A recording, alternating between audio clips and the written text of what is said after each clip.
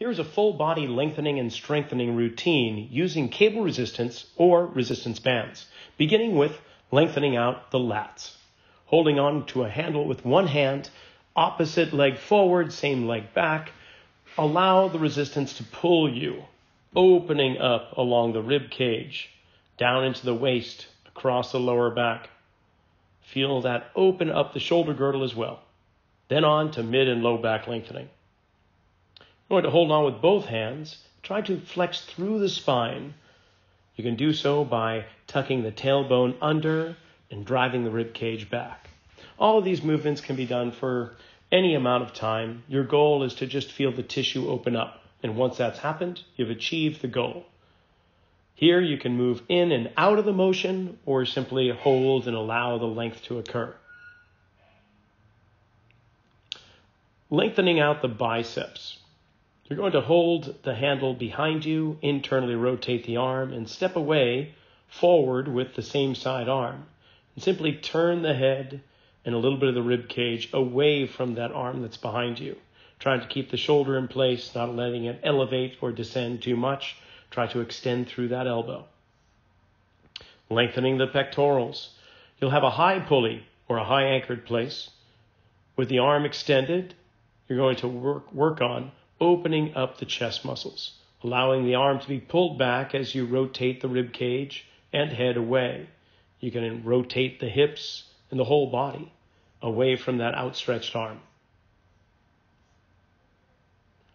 The hamstrings, using a, a mid range or low range anchored point or cable, you'll have one foot extended forward, flexed at the ankle to extend the knee. Gently pull the sacrum downward, tucking the tailbone to create flexion in the spine while encouraging extension through the knee. Allow yourself to move in and out of this position and feel weight onto that heel that's the forward leg. The loaded squat. Now we get into strengthening. You'll hold on to rope handles at shoulder or chest level, dropping into a squat parallel stance, maintaining an upright posture with the torso. Perform several repetitions, achieving some temporary muscle fatigue. Be sure to maintain proper form at all times. The single leg deadlift, you'll need one cable, holding with one hand, the opposite leg standing, hinging at the hip, and driving up to a tall posture. Reaching back with the non standing leg as far as possible, and then driving up to a tall posture again the loaded step up. Holding on to two handles, driving them up to about chest or shoulder level. You'll be placing one foot on the box and driving up and down with the resistance pulling you down and slightly back. So you have to drive up and forward. For more intensity, especially along the trunk, an off balance load might be just the thing. Single arm press will use just one handle. Opposite leg forward, maintain a nice tall posture, and you'll rotate around the vertical axis, imagining a straight line down from the top of your head out your tailbone. Allow the rib cage to rotate, drive off the forward and back leg to achieve that extension. The single arm row is very similar. Opposite leg is forward, but now with that rotation of the torso, you'll be drawing the handle toward you rather than pressing away. The motion is almost identical. The force is in the opposite direction. You can also have a lower angle where there's a bit more hip involvement.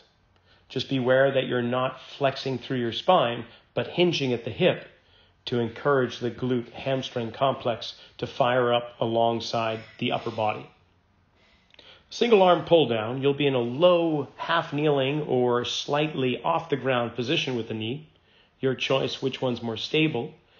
Extend upward as if you're lengthening out the lats in the first portion of this workout and begin pulling up and down.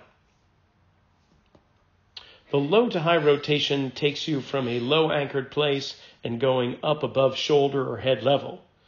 Maintaining that nice vertical axis from the head to the tailbone, try not to lean over or bend sideways.